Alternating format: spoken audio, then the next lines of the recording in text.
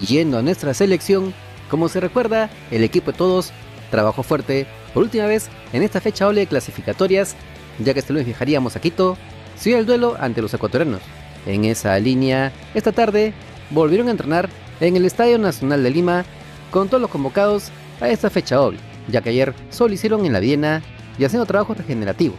Bajo el mando del comando técnico de Jorge Fossati, Perú terminó de trabajar y habría quedado todo listo para mirarnos ante la tri. Sin embargo, el que tomó la palabra fue el DT uruguayo, ya que no se le pudo escuchar luego del partido contra Colombia por su fecha de sanción y dejó en claro varios puntos que se tenía tras el empate contra los cafeteros. La Paola por Reina. Sí, claro, sí. Creo que sí. Creo que si analiza- la- analizamos sería las dos puntas. Ingresa Jean-Pierre Archimbó, camiseta número 19. Siete. Sí, otro cambio más. Luis Abraham. Exactamente. El tercer cambio. Si fue de alguien el error es mío. Si fue de alguien el error es mío. No hay que equivocarse. Hay que mantener la atención. James Rodríguez para Colombia. Cuidado. ¡Gol! Gol de Colombia. Luis Díaz aparece. Nada de lo que se hizo en el partido, yo estaba allá arriba, yo no lo ordené.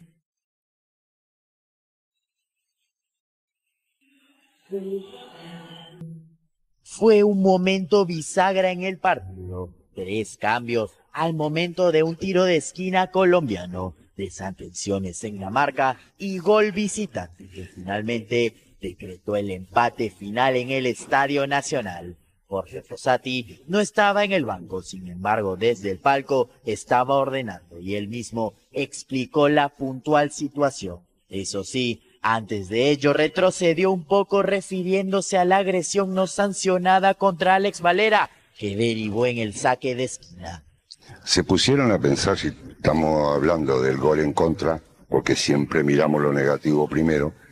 Se pusieron a mirar la falta que le hicieron. No fue falta, fue agresión a Valera la mitad de la cancha, que de ahí viene el córner. Pero no, en vez de defender a Perú, estamos buscándole siempre la quinta pata.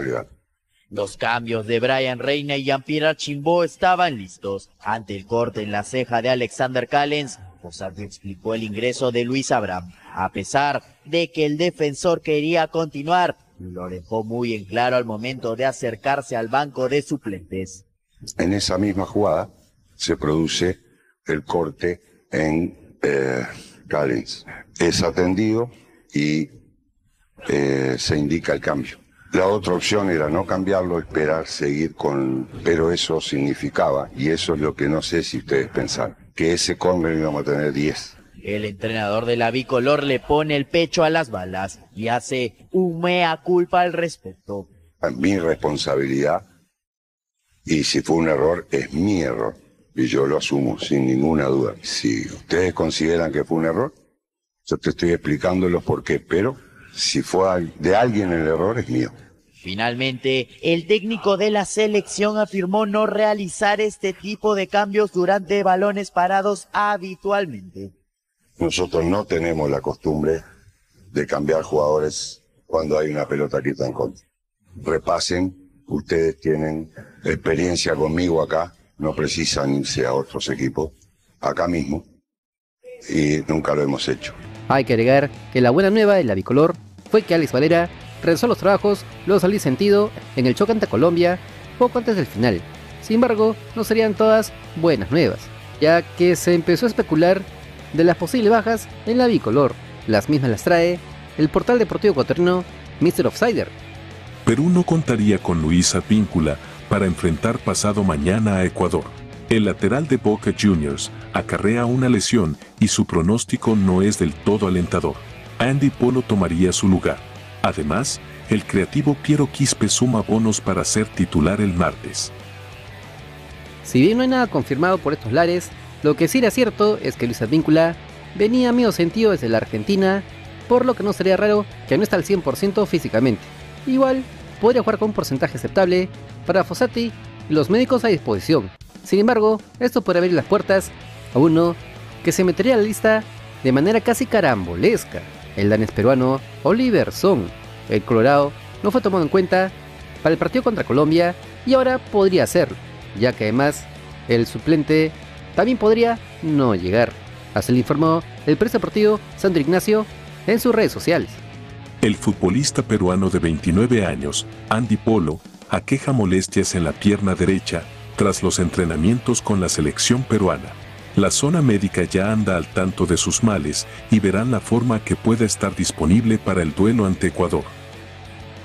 Habrá que esperar si es que esto ya concretarse, tal como le pasó a Andy Polo cuando enfrentamos a la Argentina en la Copa América, donde el que tomó su lugar fue el futbolista del Silkeborg, Oliver Song. Por lo que si esto se repite contra Ecuador, sería una noticia que alegraría a muchos jóvenes fans en todo el país. Por ahora, no hay cambios significativos en el 11 inicial de la bicolor, pero esperemos si habría cambios en los convocados al banco suplentes, a sabiendas que la gente también pide que se les convoque a Yo Grimaldo o Max Loren Castro. Al margen de todo esto, esperemos que todos lleguen al 100% y saquemos un resultado positivo en este último partido de esta fecha doble de septiembre, donde en la previa muchos creían que nos iríamos con 0 puntos y hasta con goleada escándalo de por medio. Por ahora, yo elijo creer. No te olvides que si quieres estar enterado de las últimas novedades de nuestro balompié, solo suscríbete al canal porque somos el canal del fútbol peruano. Si te gustó el video de like, comparte, suscríbete con la campanita. Nos vemos en el siguiente video. ¡Chao!